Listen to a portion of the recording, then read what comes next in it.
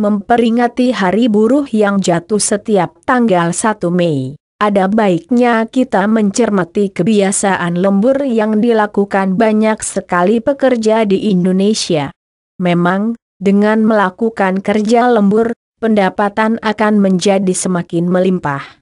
Namun, jika kita terlalu sering melakukannya hingga larut malam atau bahkan tanpa mendapatkan waktu libur, maka berbagai masalah kesehatan pun akan menanti. Jika kita cermati, cukup banyak kasus kematian mendadak yang dipicu oleh serangan jantung.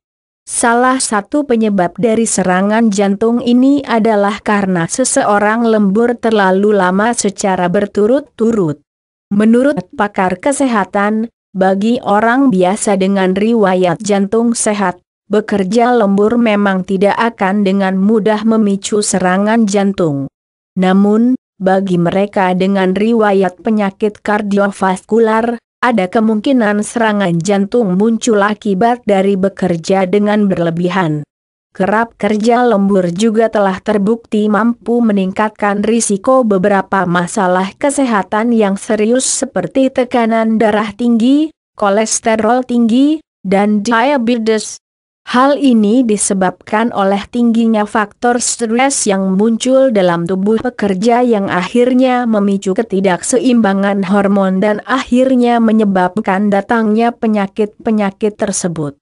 Melihat adanya fakta ini, meskipun kerja lembur tidak memiliki kaitan langsung dengan kematian mendadak, ada baiknya memang kita tak lagi bekerja dengan berlebihan dan mulai menata ulang waktu kerja kita agar bisa selalu menyelesaikannya tepat waktu.